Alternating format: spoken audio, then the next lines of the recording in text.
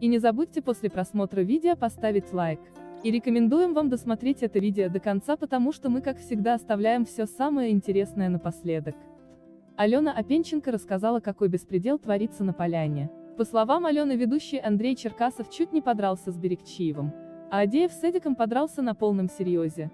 Из-за произошедшего Берегчиев и Адеев в реальном времени сидят в изоляторе. Также Алена Опенченко рассказала, что весь женский состав поляны теперь боится Адеева, но причину страхов перед Алексеем она не уточнила. Еще пострадал Артур Николайчук, который ходит с перебинтованной головой и жалуется в соцсетях, как ему плохо и призывает хейтеров радоваться его очередному несчастью. Да, ведущий Черкасов чуть не подрался с Эдиком, насколько я знаю.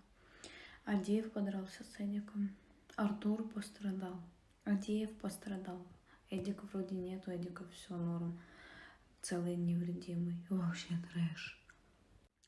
Ну, Адеев хороший провокатор, и поэтому, как там говорится, провокатор хуже кого-то там. Очень жестко на самом деле. И сейчас какая-то такая атмосфера, тихо, никого нет.